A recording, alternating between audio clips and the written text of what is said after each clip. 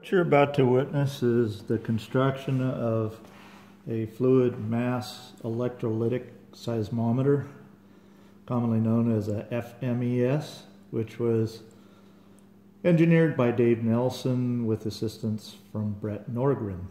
Uh, plans can be seen on bnordgren.org. And so what I've chosen to do, instead of using um, PVC glue, which dries really quickly. I'm using uh, Loctite 5-minute epoxy. So I'm going to um, mix the epoxy shortly, and I've also got denatured alcohol to do any cleanup. And uh, the parts have been pre-cut to length according to the design, which is also available on bnordgren.org, I believe it is. Um, but what we've got is a half inch CPVC. Uh, actually, it's a CTS uh, product that's made for hot water. And it's uh, has an orifice in the middle that uh, uh, is used for dampening. And also I've pre-installed the, the electrodes in the end pieces here, which you can see uh, perhaps. And there's a lower and an upper part that has to go together. So um, I'm going to start with the easy part, uh, which is the, uh, the upper part, and then I'll proceed with the lower part. Okay, now that I've got the epoxy mixed, I'm going to go ahead and assemble the uh, PVC. Using uh, a thin coating of epoxy. And I think I'll also put a, just a little bit in the socket as well.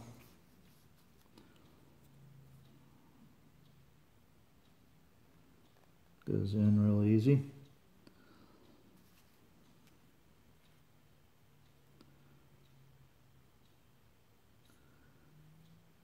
Here's the orifice section, the middle of the bottom where the fluid resides.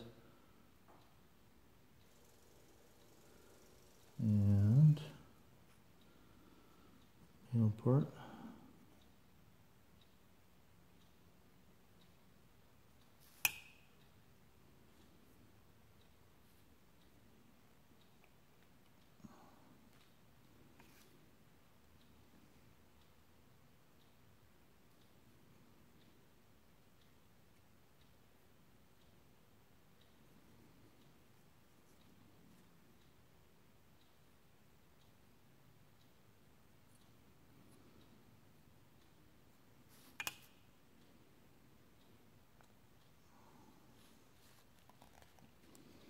Giving it a bit of a twist, much like I would if I was using PVC glue.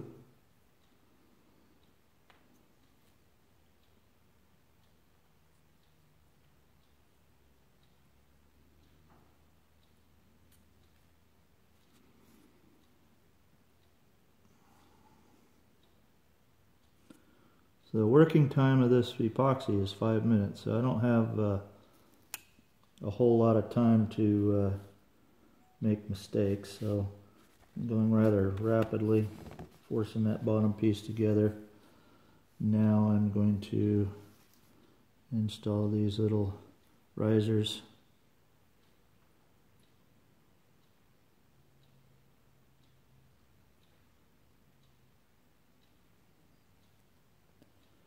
in the midsection. These are actually cut down um, about a quarter of an inch so that the rise is less.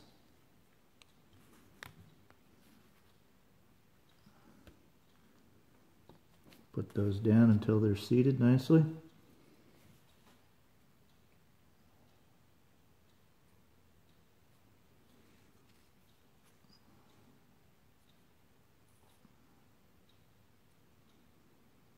I can already feel the epoxy starting to set up, so that tells me I don't have a whole lot of time to do this assembly now.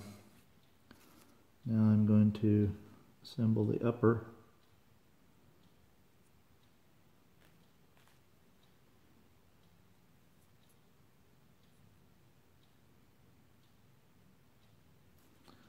Yep, it's definitely setting up.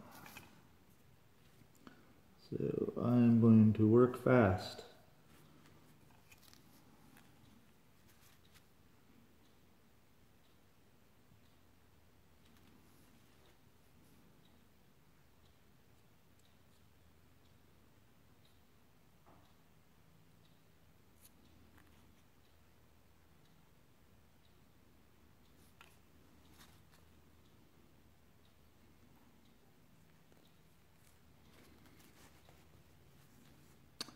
All right.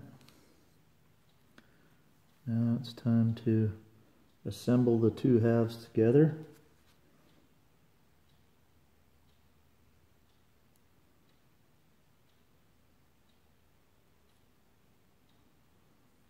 Try not to put an excessive amount on, but enough so that it won't leak.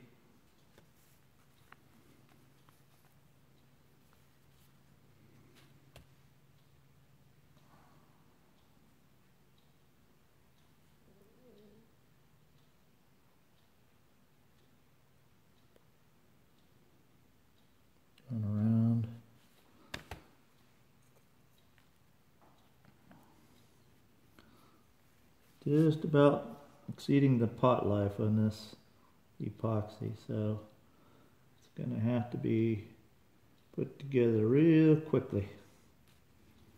Starting to string out on me.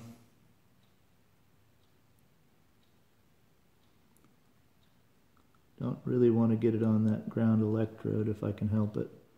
And definitely none on the other.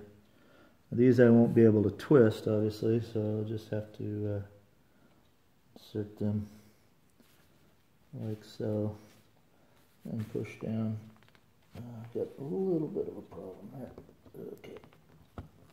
There we go. Okay.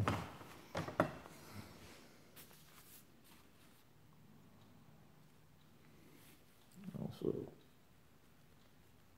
make sure it's tight in that direction without getting too much epoxy on me. And that should do it. We have an uh, assembled FMES, fluid mass electrolytic seismometer sensor, ready to be connected to a circuit board via these four conductive points. And there's the fill where the fluid goes in. So I will leave it at that.